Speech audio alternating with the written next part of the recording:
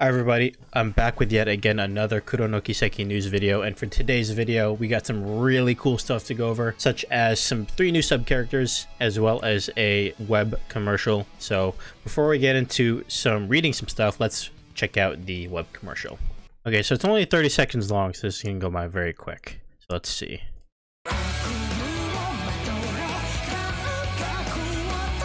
Oh, I need to slow this down.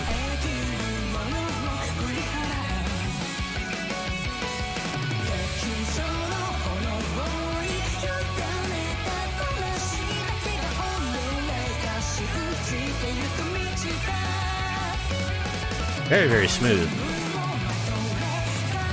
英雄伝説黒の奇跡悪夢をまとう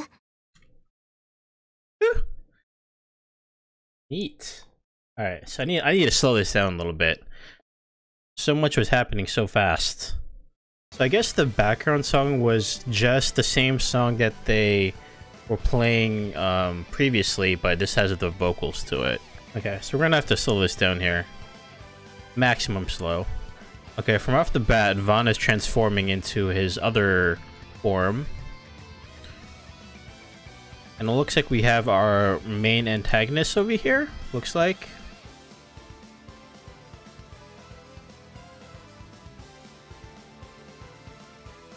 Oh, you got snake eyes. Wait, let me just double check here, see if I can find any other detail. Yeah, we saw this chick before. I don't think we saw the other two yet.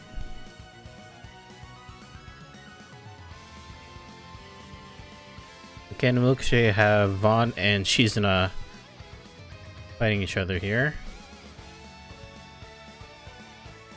And she's definitely enjoying it. And we got the Bracer Gang. Vaughn's walking across the screen.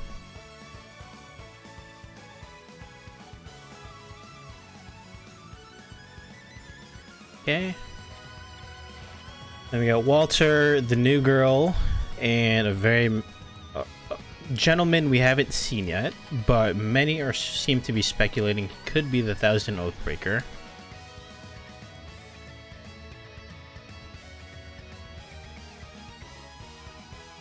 And looks like we have, I think this is Judith transforming. Yeah, that's definitely Judith transforming. Okay.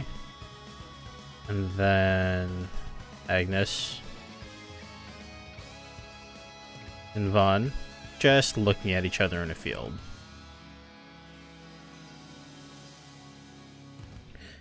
Okay, so in the background here we have Feri.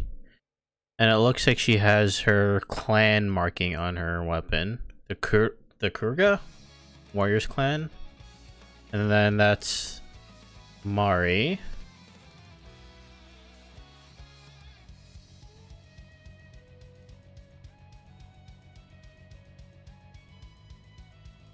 Wait a minute, hold on. What did he attack? Guess it's just an enemy or something. Alright. And that is it. So we have just about two months until the game is released in Japan.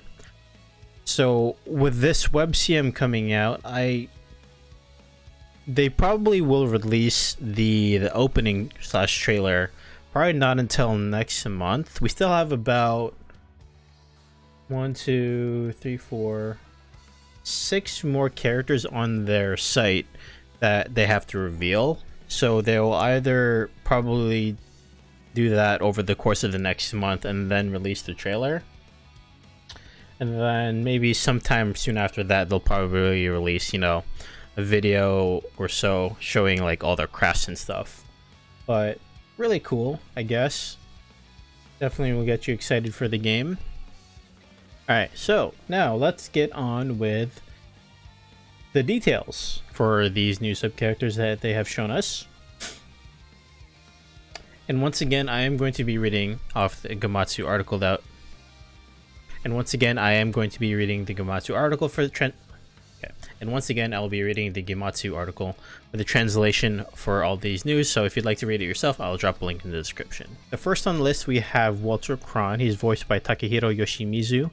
Many of you should already be familiar with him if you've played Trails in the Sky. Well, at least I hope you have.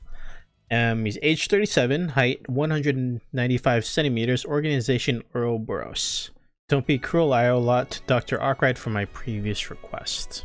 Enforcer number 8 of Ouroboros. He is a combat enthusiast with an air of violence. A user of the Taito style, which is one of the three major Eastern martial arts, he is Ryuga Rodan's top disciple and was a senior pupil to Zin and Kirika. In his student days, his martial arts skills were already developed well beyond that of an ordinary person, which attracted him to the concept of power itself, and instead of a friendly fist, he set out to hone a murderous fist to take the lives of others, including his teacher, Ryuga. He's currently he currently seems to be in pursuit of a young man in the Republic where he encounters Vaughn and the Spriggans. And here we have a couple of screenshots of Walter. Nothing too spectacular going on here, aside from the fact that he's just talking to Vaughn in one of them. And I forgot to mention, yes, it is the same voice actor from back in Trails in the Sky. Alright, next up, we have a character that has piqued a lot of people's interest upon their reveal. It is Lucrezia Isselee, voiced by Kana Ueda. Now, if you weren't too familiar with who she is, you may recognize her in her roles such as Rin Tosaka from the Fate series or maybe IF from the Neptunia series. And she is age 29, she is 168 centimeters tall, organization Ouroboros, and she uses a dusk glaive. Mm-hmm. I wonder what kind of goodies kids these days would appreciate. Enforcer number 4 of Ouroboros, she is also known as Golden Butterfly, a woman with a unique air about her who always covers her face with a veil so her expressions are never visible, and is characterized by her gentle and elegant speech, which, which masks her true intentions. She once fought against the society as an assassin belonging to the organization Order of the Moonlight Horse.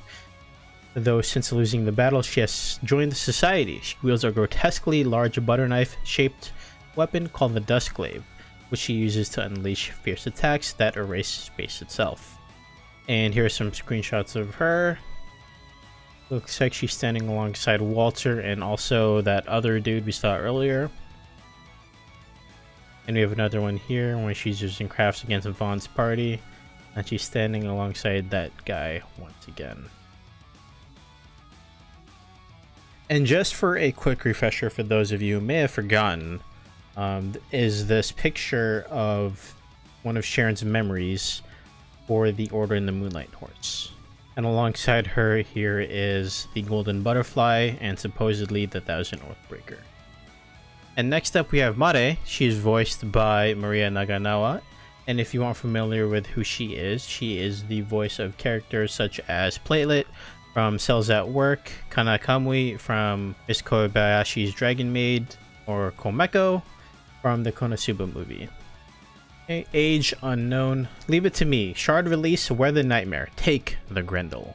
A custom-made hollow core support artificial intelligence installed to the Xipha, Vaughn's combat orbment. Despite being an extremely assertive type, it has no free will, and its personality is a mere facade of its artificial intelligence.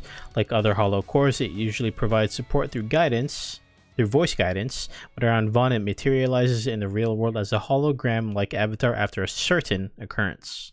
When that happened, it showed a free will, impossible for an artificial intelligence, and Vaughn's body was covered in a nightmare transforming him into a Grendel, which wields incredibly explosive power. And here's some screenshots of Mare.